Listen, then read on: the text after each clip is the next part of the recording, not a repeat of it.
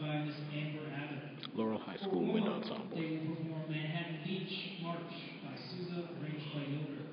Their first adjudicated piece will be Shenandoah by Ticheli.